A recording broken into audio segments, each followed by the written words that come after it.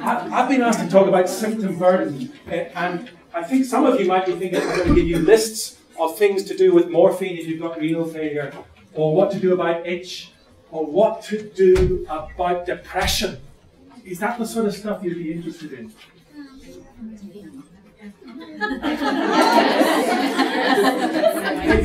well, I am not sure that this is going to be the right talk for you because when you look at the whole of symptom management in renal failure, it's a huge area. And uh, I think there's a danger maybe in, in, skipping around a little bit. I, am going to do some of that stuff. Let, us let's, let's see what we can do. Firstly, you've got to acknowledge uh, there's lots of acknowledgements. Uh, thank you for, for asking me to come to this day. I've really benefited from it. I was really excited to hear what's been happening in the south. Really excited to be uh, hearing what's happening in Antrim. And mostly excited because seeing two people from different healthcare silos sharing some space together. now that's a scary sort of thing it's a good thing, I think. And it's the thing that we have to do if we're going to really be relevant to the number of patients who are coming our way. If you're working in palliative care, or if you're working in renal medicine, I can assure you your careers are secure. Patient numbers are on your side. So thank you. We've also uh, heard a lot about this lady. This is Edwina Brown uh, fantastic woman, uh, uh, uh, and I, I, I, write a little bit and I get to edit things. When you get to edit things, you get to read a lot. And so I, I had to read this book which I was editing. Uh, and Fliss and Edwina, fantastic, clear stuff about symptom control. So if you're interested in managing depression or managing uh, heparin in renal failure, or if you're that all that stuff. This little book is really good. I get about four TP per copy. But unfortunately, Oxford University Press made it really expensive. It's a really small book, and the rats put a figure of like 30 quid on it. It's stupid. But it's a really useful book in concentrated form, precise on managing symptoms. So I need to acknowledge Edwina, and uh, any mistakes are mine uh, and any references which aren't uh, covered are from this little book. So there's a lot of common ground as I was learning, as I was listening to our, our renal colleagues. Uh, often in palliative land, as in renal land, we're referred by others with a variety of expectations. We'll send you for dialysis.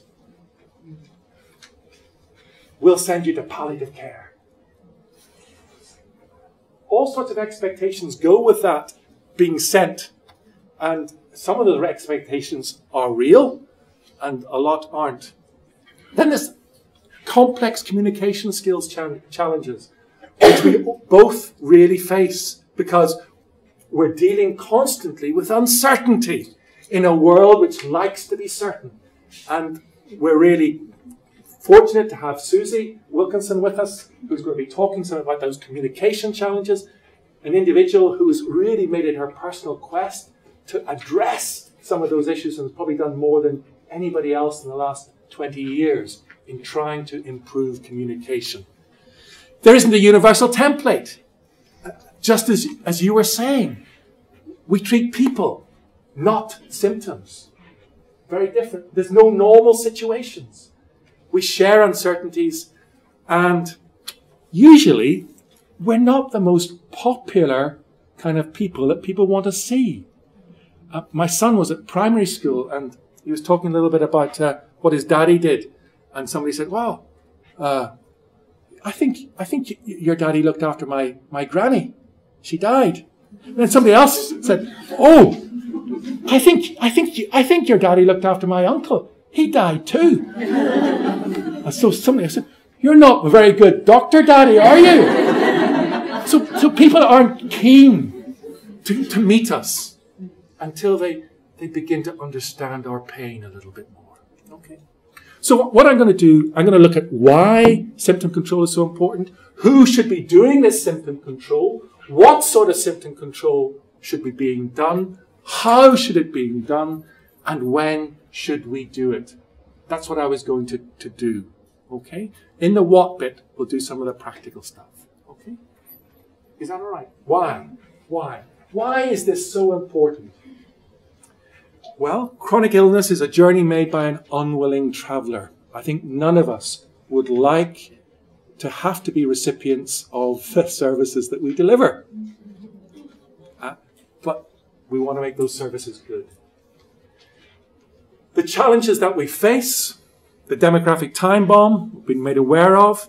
Did you know that a baby girl born in the UK in May now has a life expectancy of 100 years? Isn't that frightening? That came from Radio 4. And this morning on Radio 4, there was also another frightening thing. A third of people in the UK have pre diabetes. As I said, renal care, your future is secure.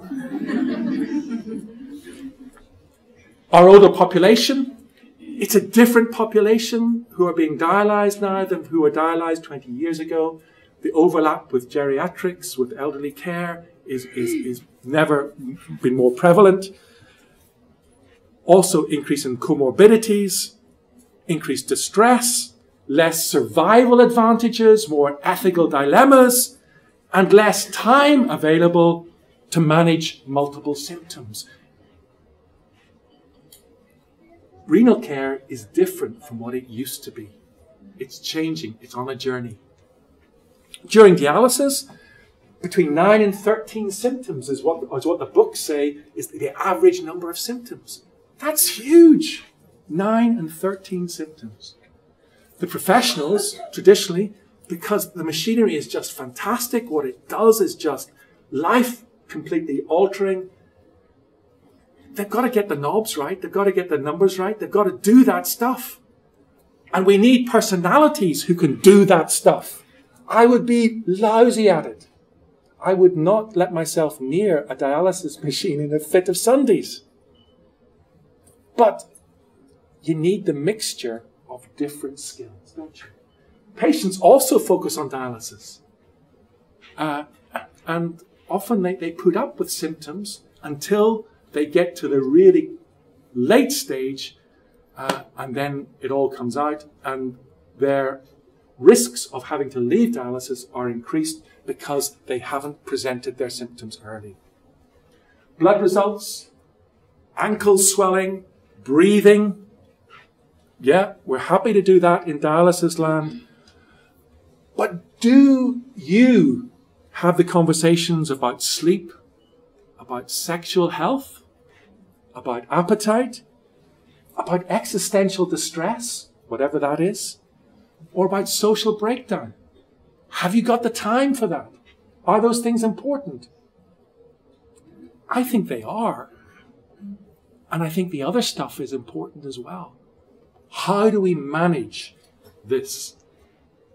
When you look at a list of symptoms, you can realize that really we're covering the whole of medicine here in, in managing the symptoms associated with chronic renal failure. And that link between successful dialysis, successful renal uh, replacement therapy, and successful symptom management is absolutely intricate. If your patient's symptoms are not well managed, they will not stay on dialysis. If the dialysis is not done well, their symptoms will get worse. It's a, a constant interaction. We cannot ignore each other. I'm so glad you're sharing this space together. You've got to work together in this. Why? Well, all the age limitations of dialysis in recent decades have been removed. Fantastic. We heard about that as well. We've moved from the from the age, you know, you, you, you can't have dialysis if you're over 60. Brilliant stuff. Now we can do dialysis. Fantastic.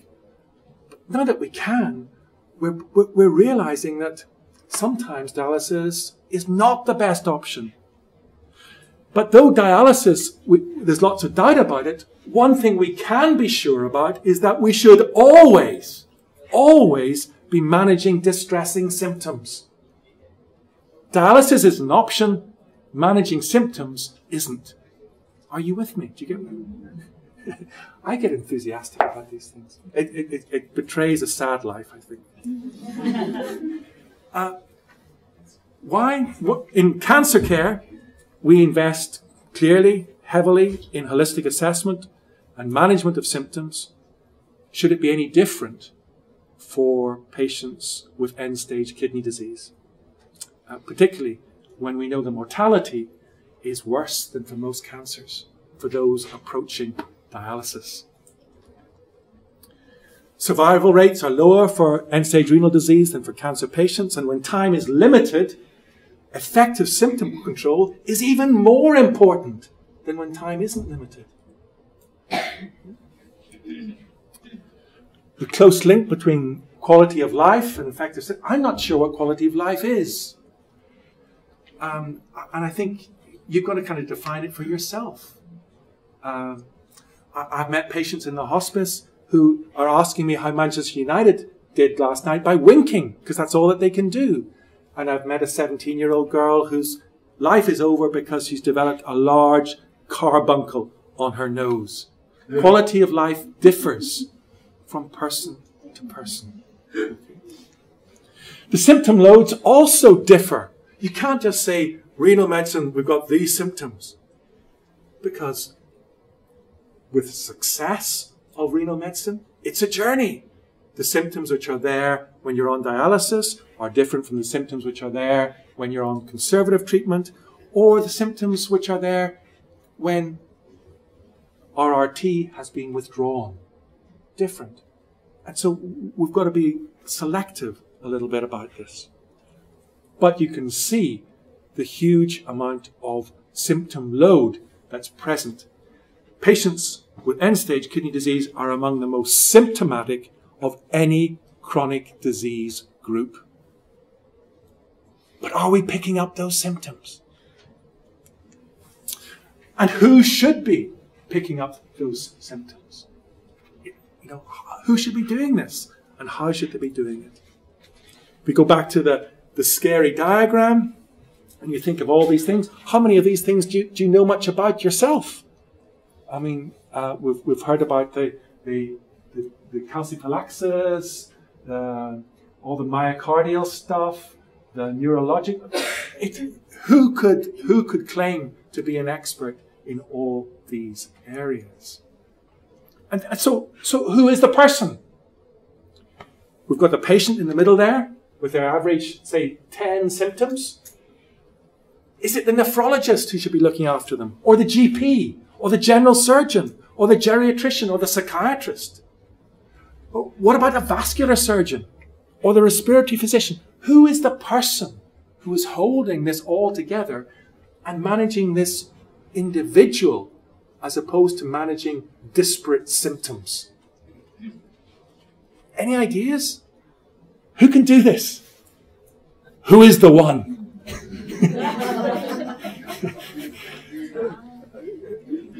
this is a kind of a question for Luke Skywalker, I suspect. But because it's it, it is difficult.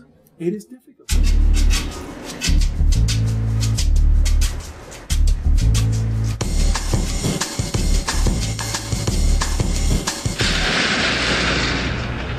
Whoa, that's not good.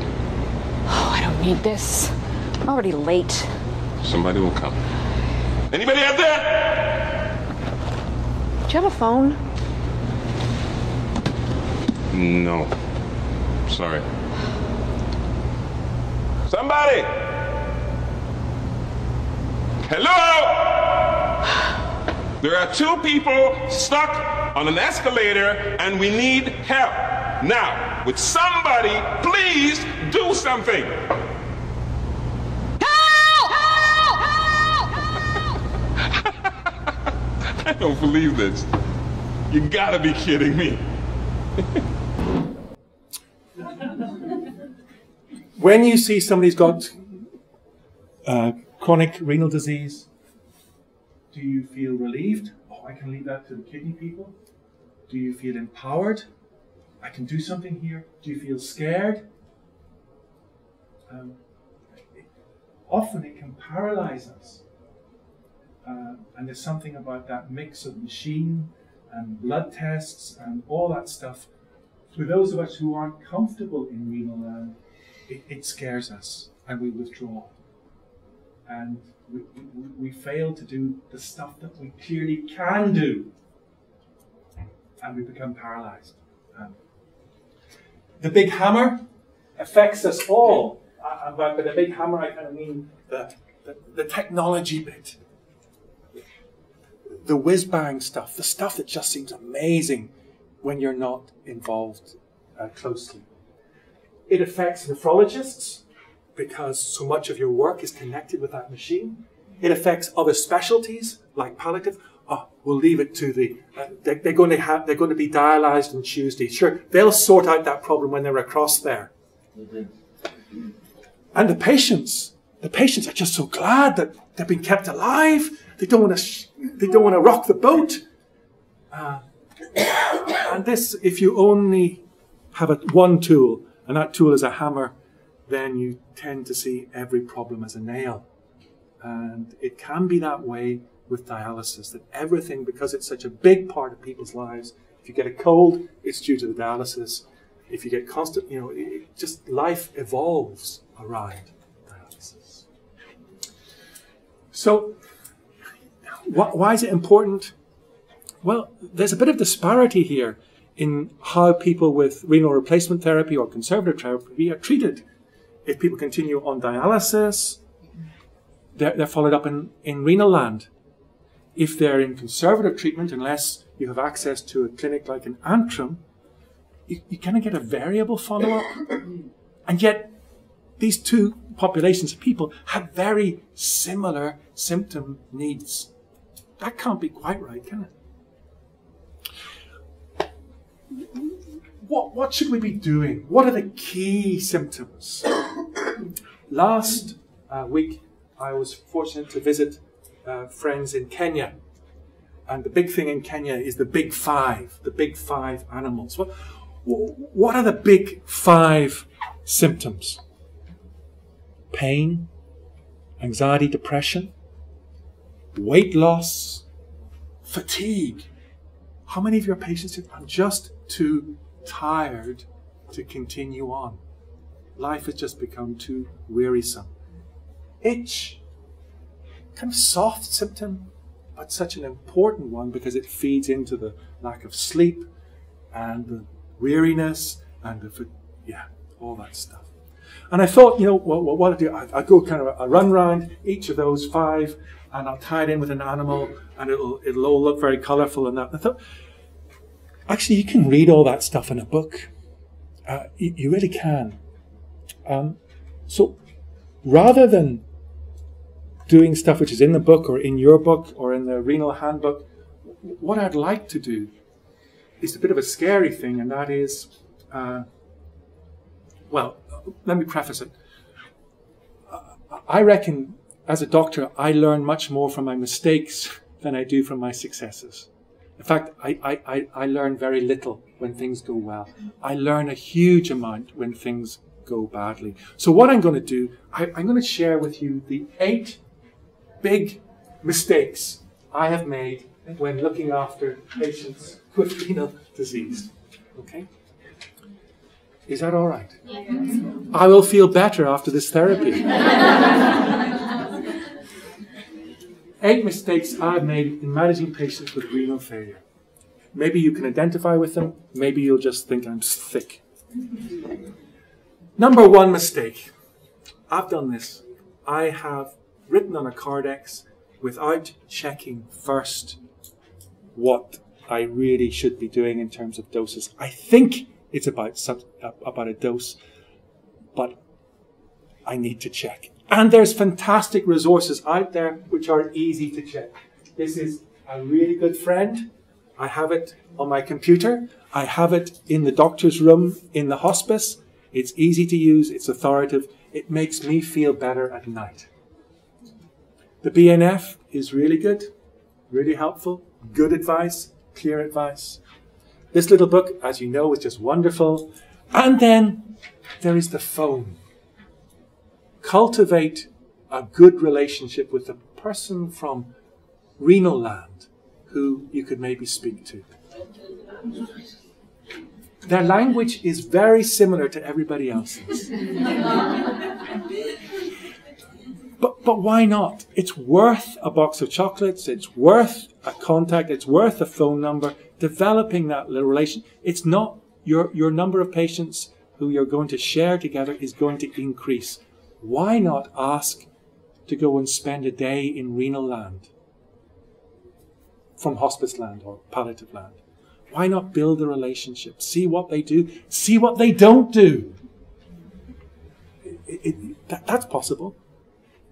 But firstly, check first. Check first. Now we're going to run a few tests. This is a simple lie detector. I'll ask you a few yes or no questions, and you just answer truthfully. Do you understand? Yes.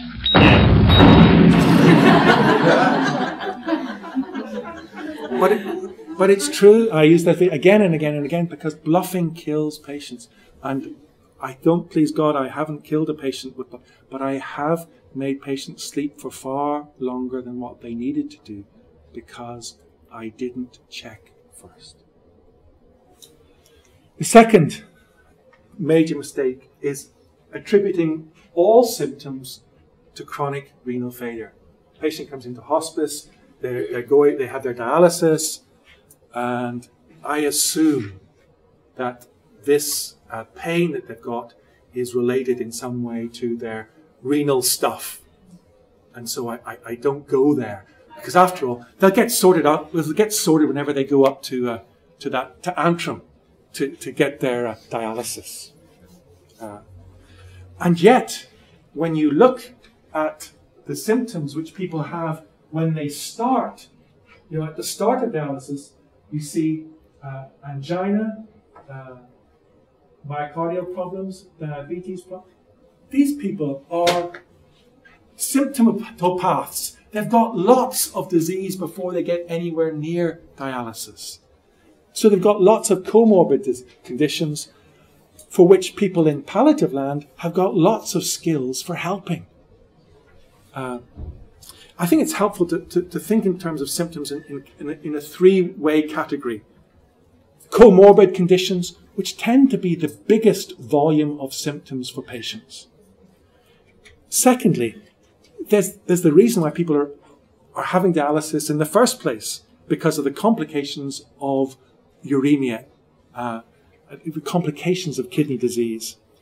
And then there are the, the, the quite discreet but very important symptoms which are directly associated with having dialysis, which we've heard something about, sometimes hypotension, sometimes acute pain, uh, sometimes other particular issues, weariness following you know, the, the, few hours following on from being dialyzed. Three different sorts of categories. Uh, and uh, areas in which we can help patients. So there's a risk that you, you see the renal label and you back off. But there's another risk which I've also uh, made a mistake with, and that's this one. Uh, well, so this, just an example, was the, figures show that about 60% of patients with end stage kidney disease, whether they're on dialysis or not on dialysis, have pain and look at the different numbers of, or different causes potentially of, of pain. Again, your categories, your comorbidities, your uh, pain associated with renal disease, and then your pains associated with actual dialysis. And a lot of uncertainty as to what the cause of these pains might be. With such lists, we really have got to collaborate. No one has the answer to every one of these things. But with sharing and working together, I, I, think we can grow in confidence in each other's expertise, what each other can do, what each other can't do, and we can deliver a much more rounded approach to symptom control for individuals as opposed to just managing symptoms. So the third big error I've done is the, is the converse. Not attributing symptoms to renal failure. I'm not going to do what I used to do. I'm going to just look at the whole person and the patient comes in and I do the whole history and the whole uh, of stuff. And I ignore the fact that they're completely knackered because their dialysis maybe needs to be changed or their hemoglobin is six or they haven't had proper iron deficiency treatment or their, their U&E's up the left. Um, you, you, understand the point? I mean, we got to think in terms of together, together, in when we come to symptom management. Number four, very common one for me, is muddling symptom management in chronic and in acute situations. We see a lot of patients, don't we, in palliative land who come in with EGFRs beginning to fall and 30, 20, 10. Uh, but but it's a, it's a dynamic situation. This is not chronic kidney disease. It's, it's a different animal. And as a result, for example, um, we would use oxycodone quite a lot for patients uh, with EGFRs uh, in pain right down to you know 30. Some would say, I think the, the figure, they're also licensing now even for lower than that. Um, and that's okay in the acute changing setup. But there's no evidence out there for using oxycodone long term for chronic renal failure. And there's a risk because you're used to using that sort of drug that you think, oh, that's okay. It's, it, it, it's not going to accumulate. But what about all the other problems associated with long term oxycodone? Oxycodone is the most abused drug in the States. More people die from oxycodone than from heroin and smack cocaine uh, in, in the States. So just because it's safe in the short term doesn't make it a safe thing long term. And then there's the issue of non-steroidals. You know, no, no, no, can't go anywhere near non-steroidal in renal land or the renal physician will personally phone you up and complain. And yet that's not what, or we have kind of have that fear because that's been drummed into us. And yet, once the kidneys have been completely demonstrated to be non-working, there may well be a place for non-steroidals. So these absolutes, we've got to be less absolute about. And we do that by learning from other people's practice. And we do that by appreciating that there's different treatments for different stages along the journey, and black and white isn't kind of the main colors on that journey. You gotta make the colors to fit the patient at the particular time. Number four, I've made that mistake quite a lot. Number five, under treating symptoms. Uh, this is a big confession for a palliative person. We're just supposed to ladle lots and lots of stuff on symptoms.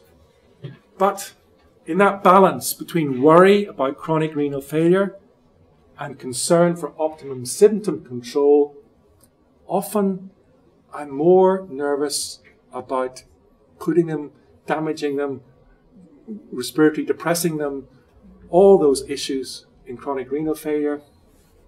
And so I, I I, sometimes treat myself by not treating the patient. Do, do you understand the point I'm, I'm, I mean? And that's difficult. I, you, you, don't want to be a cavalier doctor or a cavalier nurse who's just ladling stuff on them creating lots of problems. But equally, to walk away from a patient who is still in pain because because you're afraid that if you do anything more, you're going to cause significant problems. I understand the walking, uh, I understand the, the concern, but it's the walking away bit that's difficult. Yeah, okay. So, under treating symptoms, I've done that, and I haven't felt good about that, and by and large, I try to avoid that, and I'm very fortunate in hospice land that we are able, through good nursing education and good nurses, to be able to use PRN medication uh, in, a, in, a, in a quite a, in a, in a sensible and a safe way. We don't get it right all the time, but um, we've got to, unless you're feeling some of that tension, I wonder, are you really doing the job well? Under treating symptoms, and then, you guessed it, over treating symptoms.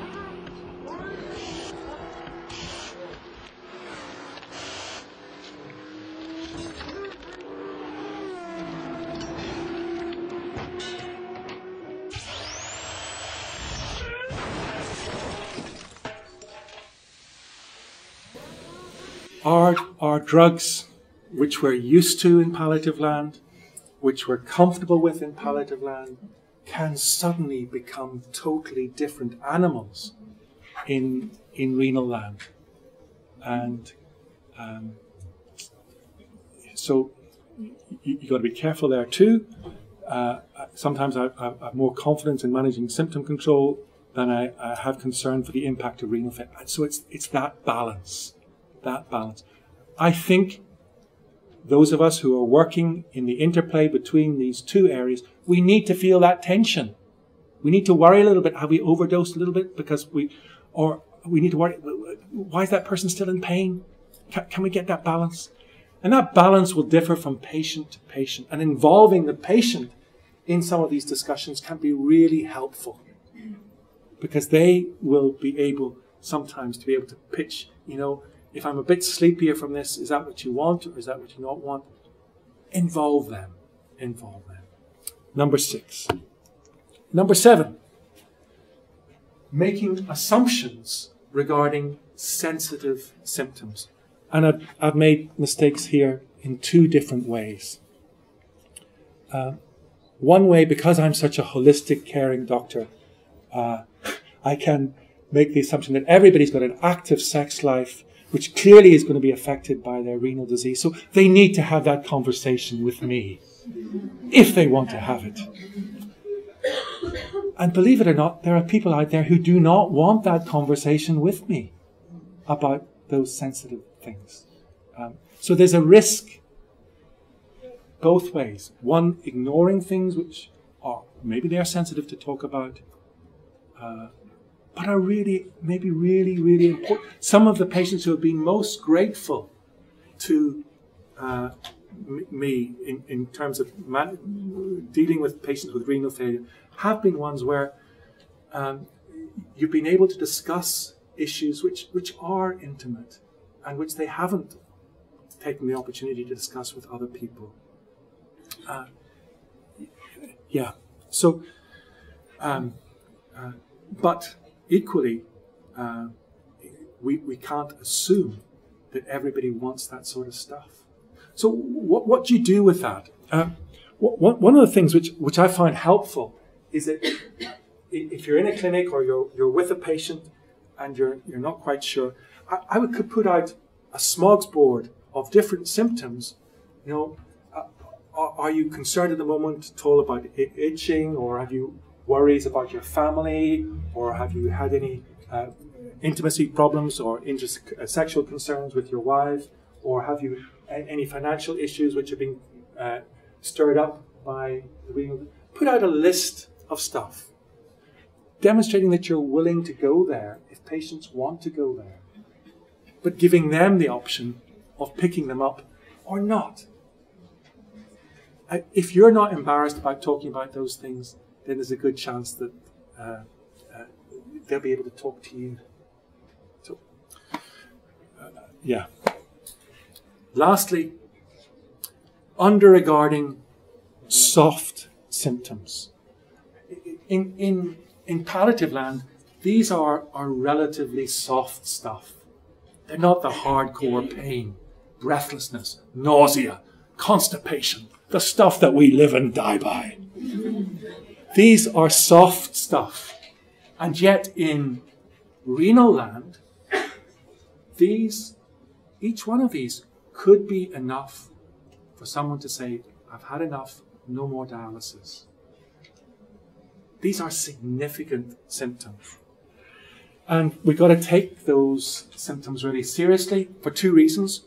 One, because they're really serious to patients, And two, because there's a lot of stuff that we can actually do about these things. There's a lot of literature, there's a lot of evidence, there's lots of stuff to try. We're not brilliant at it, but at least with you work with a patient through the list of potential options, you can actually do quite a lot. And for that patient to know that there's a, a, a nurse or a doctor who's concerned about these symptoms is, a, is, is in itself a big help. So there's much that can be done. So, how are we going to do this? How are we going to do this with the rising numbers, with the, uh, the, the cuts that extend north and south, with the lack of service development, etc., etc.? How are we going to do this? And we've already had some really good ideas this morning about how such a symptom management service could be delivered. Big one from Karen Ryan the importance of developing generalist capacity. We, we don't need more specialist palliative care physicians. We need more physicians and nurses doing palliative care. get the difference? Yeah, yeah expecting and monitoring. We know that patients with chronic renal disease have got large volumes of symptoms. Are we monitoring them? We need to collaborate, not to create new services, but to work side by side. And where possible, to follow the, the excellent model. I was really excited to learn of what Jane Macaulay and uh, the, the renal team in Antrim have been doing, creating a clinic where they, they meet patients together.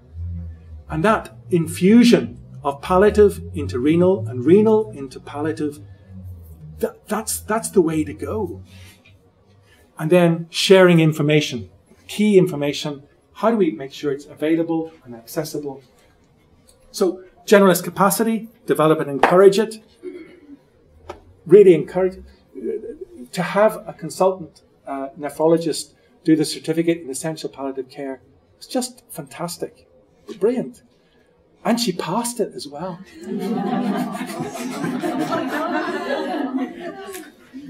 but, but I need to do the certificate in essential renal care.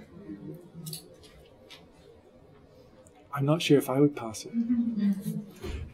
But, but, but that stuff is important. Why is it important? Look at this. This is about training for nephrologists. Amount of training to manage a dying patient. Remember the huge swing which has taken place nephrology patients, dialysis patients? The vast majority now are old people. Um, amount training in relation to, to, to managing dying nephrology? Hardly any. No, this, this has not been on the landscape of nephrology and which is, I think that's uh, really encouraging that that is being changed so rapidly. Another thing which, which I think is really important, uh, this was a, a study done uh, in surveys of patient satisfaction in dialysis units, which factor is cited most frequently by patients as the most important? The travel time to the unit, access to the consultant, the choice of SIFT time, the duration of each dialysis center uh, session, or the use of a dialysis chair rather than a hospital bed. Which do you think patients said was most important to them? Sorry? Shift time. Travel time? Travel time? Anything else? I can tell you, you're going to be surprised. The number one thing was access to their consultant so much investment into this doctor who's keeping me alive. So much trust, so much placebo power in that doctor's capacity. So if that doctor, that team, has got the facility, got the skills, got the knowledge, got the backup, got the support to manage symptoms, there is no better team on earth to deliver because there's so much investment in that service which is keeping me alive. I thought that was really interesting. Scary, but interesting. How? Expecting and monitoring. We've already seen a copy of this uh, monitoring chart. Keeping a record of symptoms, even if it's just perfunctory, even if it's just using an iPad, even if it, you know, it's just tick, tick, tick, tick. Why is it important? It's important because it allows red flags to be waved early. It allows you to highlight a patient where there's a trend going on. It allows you to get your symptom control in early or rather than before it's become established. Um, but there's a fear about this. It will create work. Yes, it creates work, but it also saves work down the line if you can cut people off, get to people before symptoms have become fully established. So, palliative and renal collaboration, good stuff. But you might think that's just a kind of a dying thing. Uh, palliative and nephrology working together is not just about engineering good deaths. It's about working together for good symptom control, managing the kidney disease symptoms, the renal replacement therapy symptoms, and the comorbidities. It's about working together to understand personal goals of patients. It's about achieving the best possible functional status for patients. I was really glad to hear the physiotherapist speaking there. We know in Cancerland now that exercise is such an important component of reducing the, the firestorm of cytokines which are part and parcel of chronic disease processes. If you, if there's one thing that you can do for yourself in either cancer land or renal land, it is maintaining your muscle bank for the days when you will need it. Exercise, exercise, exercise. Avoiding no added value admissions to hospital. Really hard for some of our renal colleagues to do this on their own. Really hard for us to do that on our own, palliative wise. Working together, we could maybe devise a, a better way to prevent this from happening and to improve the care experience for patients. So, collaboration, really important stuff. Managing complexity with competent compassion. It's a good mix. And then supportive care, care clinics. Antrim leading the way in Northern Ireland. Brilliant. Not just abandoning these people. We're not treating you anymore, or, or rather, we're, we're, giving you conservative treatment. Uh, see your GP. Come realizing that conservative treatment is as an active a process as dialysis, requiring every bit as much attention to symptoms as in the dialysis setting. Building good therapeutic relationships, absolutely crucial. And then we come to sharing information. This tattoo was on the chest of one of my patients. Uh, she didn't have confidence in the uh, transfer of her advanced care directive. So she, she, took care of it herself or himself. Uh, it wasn't my patient at all. It was a picture from the internet, but but anyway, it's a nice story. We've got to share information. We've got to share information, and one of the things that we've worked out up, up in the north with the Public Health Agency is the development of a patient held passport, which develops through the chronic disease process, not just at the dying time, in dementia, in renal disease, in motor neuron disease, a, a document that, that the patient can use to carry the key information which allows them to, to share that not 30 times or 40 times or 50 times with each new professional, but they can just give the book over without having to repeat themselves. And then we've already heard about the electronic care record, which has made a big difference. We can now see patients' results, see uh, online.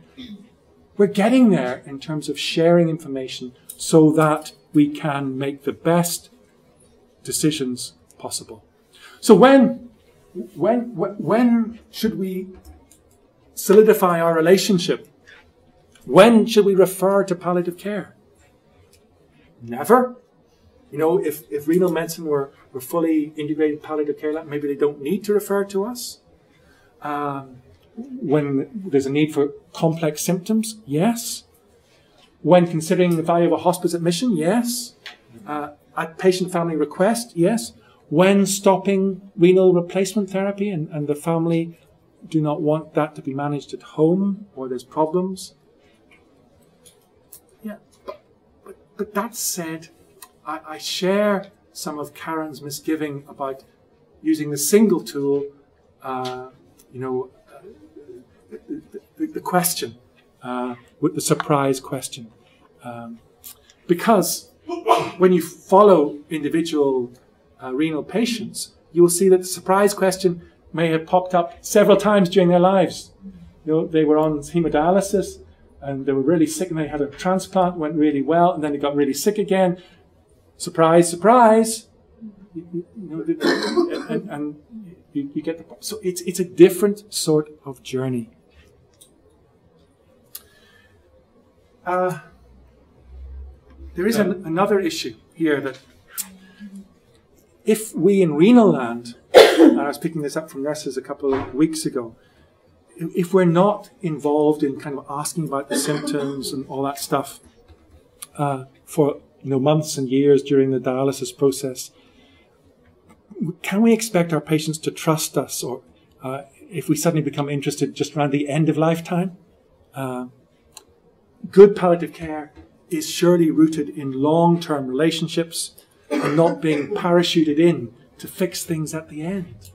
It's much better that palliative care supports the existing teams who are having those connections. Renal land or palliative land, I think we've seen these models, uh, realize the models, and the models are, are, are good and all of that, but models have got to be based around people. And some people will prefer very much the palliative approach. Some people will prefer to die in a nephrology unit because that's where they feel most comfortable, etc., etc. And, you know, we've got to take account of people's preferences.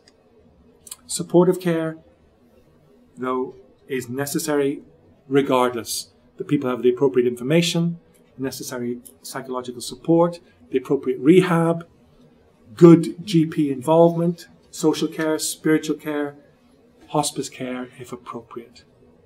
So we need this together. Okay, coming to the end, you'll be glad. What have patients taught me uh, over the time that I've been losing my hair? Firstly, that symptom management in patients with chronic renal disease is never formulaic. The patients are individuals, and the conglomeration of different symptoms, different treatments, makes it very hard to say if I, I treat Mr. Smith like this, I should treat Mrs. Jones in exactly the same way. Chronicity, multiple comorbidities, compartmentalized clinical systems. I'm sorry, you need to wait uh, to, to see the cardiologists for that problem. They affect symptom control for chronic renal patients. Third thing, dialysis technology often changes the dynamic of patient clinician relationship. There's something about that huge machine and its complexity and its scientificness which kind of is the elephant in the room often when it comes to doctor patient, nurse patient relationships. It changes things. I'm not saying it changes things for bad, I'm just saying it changes things. This is a quote from a patient Don't just treat my symptoms, treat me. Treat me. And lastly, life and risk are inseparable. If you are involved in managing symptoms in patients with chronic renal disease, you will have to face risk. my wife works as a GP, and she's been really concerned with risk uh, in her training of trainees. And she's got a little article which she's putting together, and she's come up with this the first law of risk thermodynamics. I present it to you for the first time. Risks in life cannot be created, cannot be destroyed. They can only be changed. What am I saying? I'm saying that all that you do, maybe to try to reduce risk, recognize that you, yes, you can reduce risk, but in reducing risk, you will also be creating new risks. Our job as nurses and doctors is to manage risk.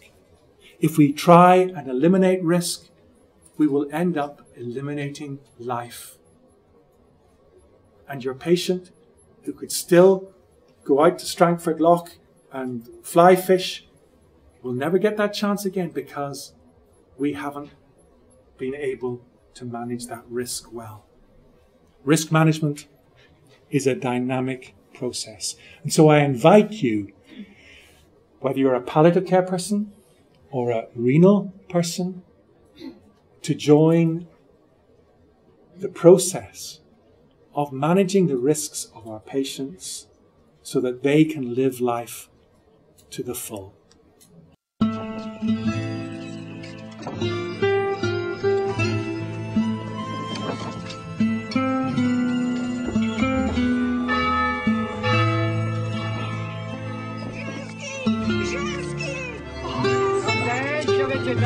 Witam ją na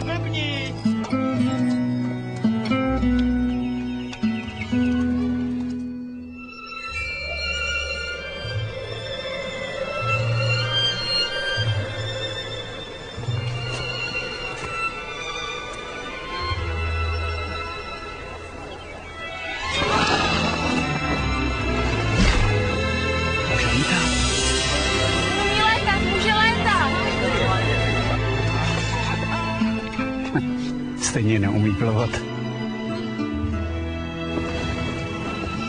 Your risks are always evolving. Shouldn't your insurance stay in sync?